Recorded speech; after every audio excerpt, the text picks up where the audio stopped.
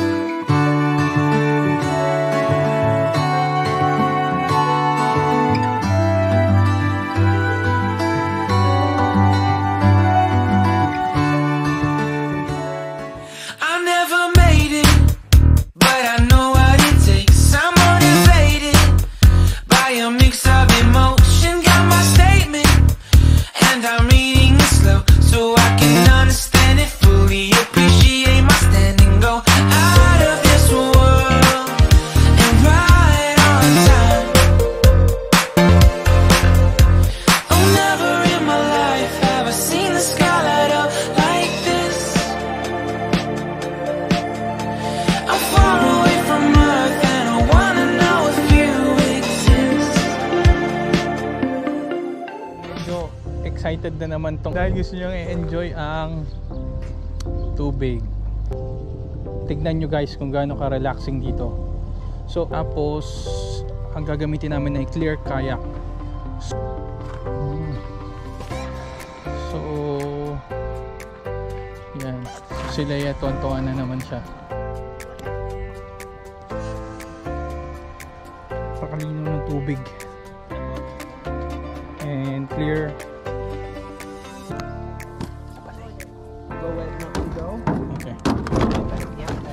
okay Go, point with your pedal. Yep.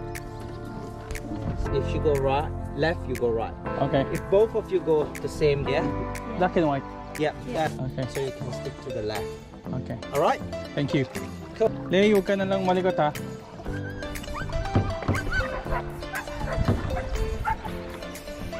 Medyo nakaka... Bakit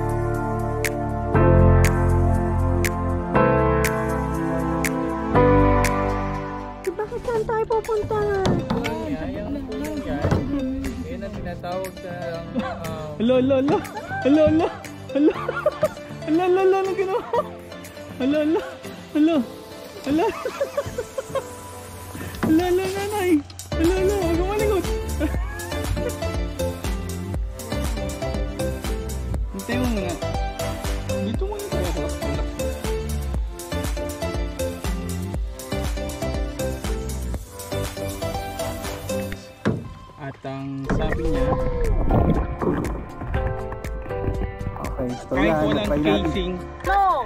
Punasan mo yan! Punasan mo!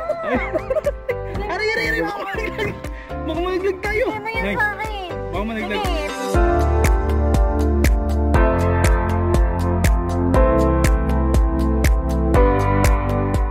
Um, so dito sa New Zealand, matindi ang kailangan init dito compared sunblock dito, ozone layer dito sa part ng New Zealand.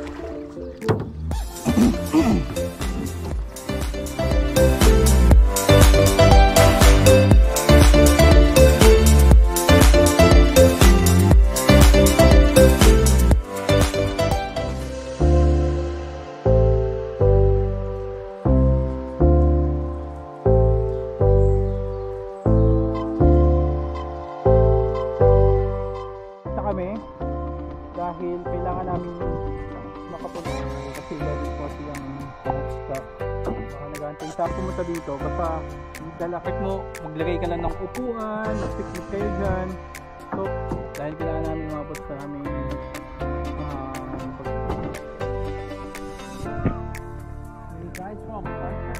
Ah no, in Bacargill.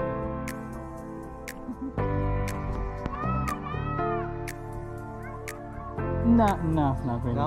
It's, I think it's on May, May th- manual.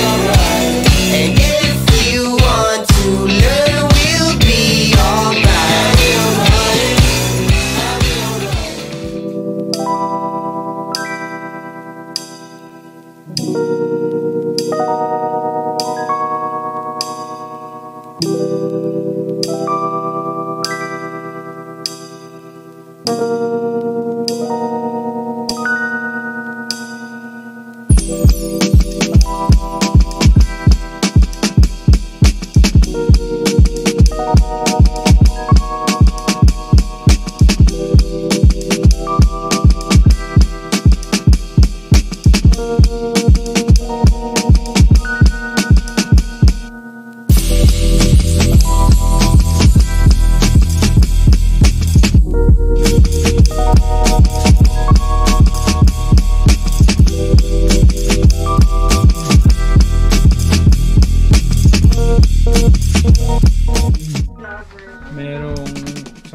light, merong wifi.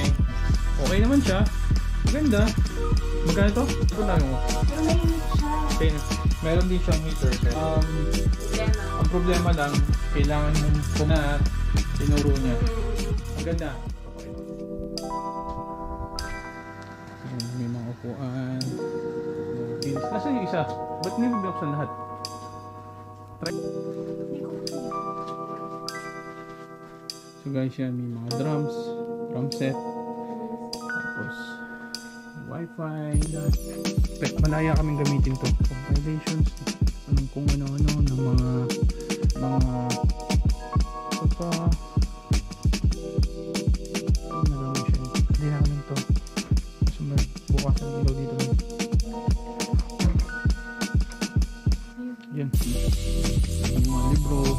laro ng video games.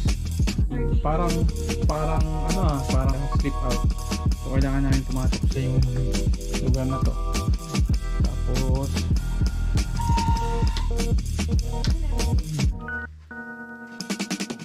Ayan, um, stargazing. Teka po, ang attraction nila talaga dito. Itong lugar niya. Tapos, Thank